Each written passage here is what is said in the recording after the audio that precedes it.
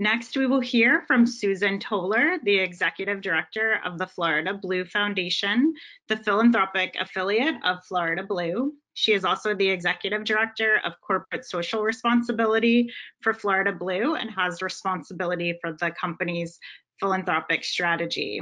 We're so grateful to have Susan here with us today to share health plan and foundation perspective on this topic. Susan? Thank you, Catherine. And um, again, thank you to NIHCM and to Dr. Clayton and Dr. Carroll. Um, you really set me up nicely to talk about what our health plan has done. Um, there's a lot of uh, connection into what you talked about. I'm really honored to be part of this conversation. Um, Ryan, will you pro progress the slide, please? First, a quick of who we are. Um, GuideWell is a health solutions company that is a um, national company. We, um, us and our affiliated companies um, employ more than 18,000 folks and serve more than 46 million people in 45 states, um, including Puerto Rico. Um, Florida Blue is part of GuideWell. Florida Blue is the Blue Cross and Blue Shield plan for the state of Florida. And um, we are the leading health insurance company here. Um, the Florida Blue Foundation is our private corporate foundation. We were founded in 2001. And um, next slide, Ryan. Our mission um, is to connect um, to our GuideWell corporate social responsibility work, as well as our ESG, environmental, social, and governance. I'll talk about that in a moment. Um, and we, we talk about it in terms of social impact. So um, just like GuideWell's mission to help people and communities achieve better health, um, that is the work of our foundation and our CSR work as well. Next slide, Ryan. How do we think about these, these issues at GuideWell? Um, again, like I said, if you think about our social impact and um, what is the value or the imperative that we have um, in the social space, the environmental space, as well as governance and our inclusive business practices. Um, when you talk about holistic health, we believe that physical health and mental health go hand in hand. Um, again, Dr. Clayton and Dr. Carroll kind of reinforced that. Um, and when you think about the social determinants of health um, that really um, dictate most of your um, healthy life and um, your lifestyle, um, that's where we're trying to find, again, this intersection. Um, we do have um, a role in environmental sustainability, um, and I'll get to that in a second. But, you know, we know that uh, we can play a role as a corporation to be environmentally responsible um, throughout our operations as well. So we think about this work again in kind of this ESG framework. Next slide, Ryan. We do have focus areas for our uh, philanthropy as well as our CSR strategies. And back in 2020, right before the pandemic, um, we aligned to these three drivers of health. They are food security, health equity, and mental well-being. Um, they were critical issues then, but now that we're through the pandemic, um, two years later, uh, these three have really proven to be even more critical areas of focus for us.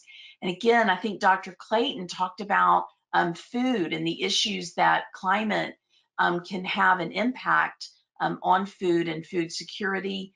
Um, Dr. Carroll talked about um, equity, and um, we know that a person, um, your life is often dictated by the zip code that you are born in. So if there are, you know, climate issues or environmental issues with that, and that causes uh, challenges as well. And the mental well-being is what we're going to talk about today. Next slide, Ryan, please. Um, going back to our ESG and our work with um, the environment and the importance of sustainability, I um, at first glance you might say, well, what can a health insurance company do for the environment? right? Um, you don't make something, you don't manufacture things, right? So we have gotten really creative. We have an amazing corporate services team and um, really focused in on what we can do in the sustainability space as a business. Um, we have championed solar power. Our headquarters are in Jacksonville, Florida, and we are committed to go 100% solar in our buildings. We have a, a project with the Jacksonville Electric Authority. We're the first company to do that. Um, improving our water management, all of our retention ponds and the way we water our property um, is all reclaimed water, 100%. Cutting food waste, um, working with our um, food service providers and um, how we eliminate um, extra food and I'm reducing paper waste. Again, you would think, well, gosh, we've been at home for two years. We haven't used any paper. But as you know, insurance regulations, there's a lot of paper that needs to be shared with members and providers and uh, vendors and our partners and the like that are regulated. So we're encouraging people to use um, electronic submission and um, electronic records as much as possible. Next slide, Ryan. So um, how do we show up with this intersection between climate change and mental health? Um, you know, to be honest, we have not set out a strategy that said we're going to go do that, right? And how do we do it? Um, so when we talked about this issue with NIHCM, um, we really talked, thought about it in the space of our disaster relief efforts. And again, Dr. Clayton and Dr. Carroll talked about that, um, how that's been I'm not going to say low hanging fruit, but that's been a way that um, we and other organizations can plug in and collaborate with other partners. Um, you heard them say Florida, obviously, that's our largest state where we operate um, as Florida Blue and as Guidewell. And um, Florida has its own unique challenges in its weather, um, being a peninsular uh, being surrounded by water everywhere and lots of sunshine, right? Um, and lots of development, mind you. Um, thousand, you know, a thousand people move to Florida a day, give or take. So um, all of those pose unique challenges to our state. Um, they mentioned the Red Cross. We have a long time partnership and strong partnership with the American Red Cross. And um, when uh, both before disasters and during and after a disaster.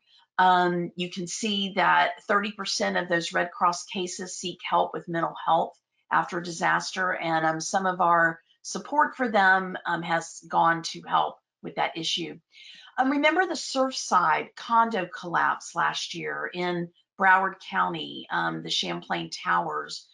Horrible, tragic disaster. Um, some have said that it was exacerbated by sea level rise and by you know the pounding waves and erosion um, on the beach in Broward County. Um, we knew that that not only had a major physical toll um, on that community, but also a mental one as well. And so we joined forces with about 30 other non, uh, nonprofits and organizations to create a mental health collaborative down there that still um, is working today um, with both the survivors and the victims um, and the community. During Hurricane Michael that affected our panhandle, our beautiful panhandle, um, badly a few years ago, um, the schools were really impacted. Schools had to be closed and um, there were a lot of issues. So we partnered with the consortium of Florida educational foundations. Um, each county in our state has a school district, and those school districts have a public found education foundation attached, and it's that group. Um, and we really worked with them to provide mental health training to school employees, and again, continue to to work with them. Um, in times of these disasters and and others, um, we have our mental health partner is New Directions. That's our behavioral health company. And um, they have often um, stood up a 24 hour hotline that anyone can call. You don't just have to be a member um, to just talk with someone. Um, and we have found that uh, really beneficial for people. Sometimes you just need, you know, someone to listen and talk to in times of a disaster or things happening. Um, so we've um, found that that's been very effective. Next slide, Ryan. We do um, with our three drivers of health, as I said, our mental well-being grants. Um, we give those annually through our foundation through a competitive RFP process. Um, the next one, the deadline to apply is April 15th. So if you work in Florida and you work in this space of mental well-being, uh, please go to our website, floridabluefoundation.com, and take a look at those applications. Um, these are our partners from last year's grant program. Um, and again, if you said how many of those relate to climate change, probably none, but we're trying to strengthen the mental health uh, system, right? And we're trying to create that infrastructure. So as like our other speakers said, you need some, uh, you need that infrastructure built um, so that you can be there for people when they need it. Next slide, Ryan. Um, just some results from our grants, uh, present and past. Uh, we do, as a you know foundation, um, take um, measuring our impact seriously in our grantees. We have a robust evaluation process, and you can see some of the results that we've had. Um, you know, I think it's it will be interesting as we talk about climate change in the future, um, what those outcomes and metrics will be, how we will know that we're being successful in this space. Again, that's industry wide, not just unique to us. Next slide, Ryan. Um, I'm not going to spend a lot of time on this, but just to say, you know, um, we think about our members, um, we think about our employees, and we think about our community. And um, with our employees, we have a program called Lift by GuideWell. It's an employee assistance fund. Lots of companies offer these. Um, and that can be short-term assistance to employees in times of financial hardship. Often it is disasters or things that have happened um, to their home um, or property. And um, since that program began in 2016, we've given more than 2,800 grants totaling $2.8 million to our employees in need. Next slide, Ryan, please. Finally, I'd like to invite you um, to our next Community Health Symposium and our Sapphire Awards. It's May 4th and 5th. Um, it is for everybody. Um, you don't have to live in Florida. You don't have to work for a nonprofit. Um, it's a great discussion on community health. Um, we are focusing on health equity, but again, lots of topics and great uh, speakers both nationally in the state and locally. Um, so we encourage you to come. It is in Orlando. Um, again, you can go to our website, floridabluefoundation.com to register, and we would love to see you there. Thank you so much. Thank you, Susan, for highlighting Florida Blue and Florida Blue Foundation's leadership to support climate resilience.